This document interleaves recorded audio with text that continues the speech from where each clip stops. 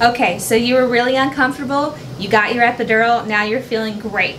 But let's not lose track of the bigger picture. We still want to have that vaginal delivery. And what are some of the best positions to be in? We're going to talk about that in this video. Hi guys, I'm Haley. I'm a labor and delivery nurse, childbirth educator, certified breastfeeding counselor, doula, and mom of two, soon to be three.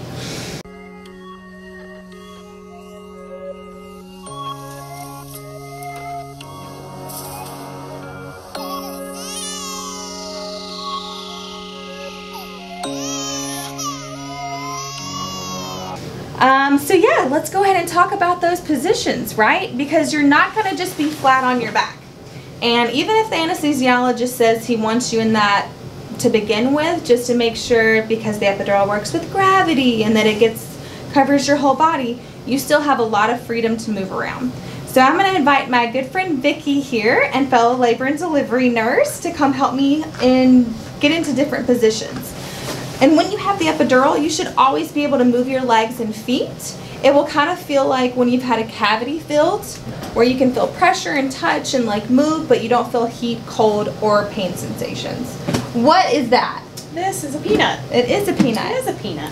So the purpose of a peanut is to help open up your pelvis, give baby lots of room to come down because your legs were not closed when you got pregnant and they're not going to be closed when this baby comes out. So we want to think what is the best way that we can position you so that baby has the best chance of moving down, rotating, and coming out of the vagina instead of via C-section. Um, and one of those ways is to use the peanut here. So Vicki, show me how you would use a peanut with me if I was your patient. Well, the most basic way of using the peanut is simply just to place it between your legs. Uh-huh. Okay. Get it to a point that's comfortable for you, where you feel like you're stable, That's comfy. and take a nap. So Good this night. is a very basic, simple way to use it. So let's say now you're completely dilated, but we want that baby to move down a little bit more. Okay. We're gonna switch this now, and we're gonna put it at the lower half, Okay. to where your knees are closed, but your feet are open. Right. So you may think that this is counterintuitive since my knees are closed and I just said you got to have your legs open to have the baby come out. But what this actually does is putting your knees together helps to open your femur bones, correct? And therefore open the posterior pelvis, giving baby more room to move down. This might be the point where you start to feel like I might need to poop, and that's when you would tell your labor and delivery nurse, I'm feeling some pressure. And she'll probably check you and see where the baby is. It might be time to push and have a baby. Right? Yep. What would be another way we could use the peanut or another position that we could get into with an epidural? Um, so another simple way, I'm gonna have you straighten this bottom leg Okay. here. And we're gonna make this a 90 degree angle. Does that feel okay? Feels great. Are my pants see through? Because this could get awkward fast. Nope. Great. All right. All right. So this is just gonna change the diameter of the outlet a little mm-hmm. bit. Sometimes this helps babies line up that are in there just a little bit funky. So we're gonna do this on both sides. Okay. We don't know, So literally the the left side of my pelvis, I've I've turned and brought back so that my pelvis is tilted more. And then I could bring this arm behind me and just have a nice little rest while the peanut and the baby and the uterus do all the work. And I get to just enjoy it. Hey. okay. And then any other things with the peanut or are we moving on? let's move on. Move on. Okay. All right. So we're done with the peanut. And then obviously, um, if your legs are too heavy that you can't lift them or move them, you need to let your labor and delivery nurse know so that she can let the anesthesiologist know. We may need to turn down the epidural just a little bit, not enough to where you feel pain, but enough to where you're able to still move and feel that pressure.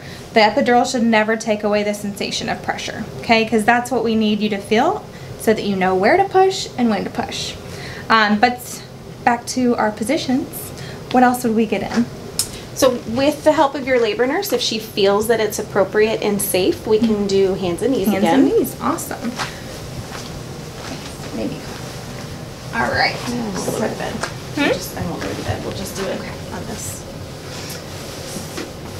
So you could even use the peanut here to lean on, or you can go down a little bit farther and have it be like knee chest. right?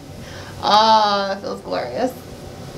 And again, what this does is it helps to just engage baby, take that pressure off of your lower back.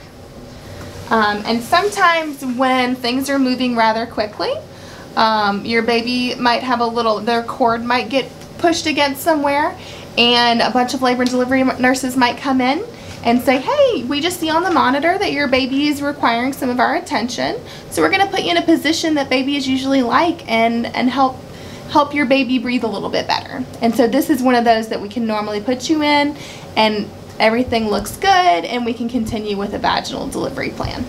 Okay? Um, and then you can also do with an epidural pretty much any position that you can do in bed, you can do with an epidural. Um, the last one would be throne position. So if you want to drop that down for me, I'll do that. this. Um, and a disclaimer that I will say about this throne position, it's called throne because you're a queen and you're sitting up like one. Um, what that does is it puts a lot of extra pressure on your cervix to dilate. So let's say maybe you're eight, nine centimeters and you've kind of been stuck there for a little while. If we put you up like this for like 20 or 30 minutes, no longer than that because it just leads to a swollen labia and possibly a swollen cervix. So we just want this position to kind of be short and sweet and see if that helps, okay? Um, but it's just like this. Maybe you want to eat a little snack before it's time to start pushing. This would be a good position to get into as well. So, um, any other positions? That's all I can think of, right? I got right now. Yeah. So that concludes your positions for when you have an epidural. Um, if you don't have an epidural, look, check out, and I forget which side it comes up on, but my other video I did on laboring positions um, without an epidural. And then next up, we're going to talk about positions for pushing. So thank you guys so much for watching this video. Don't forget to comment, like, and subscribe. And remember, you got this.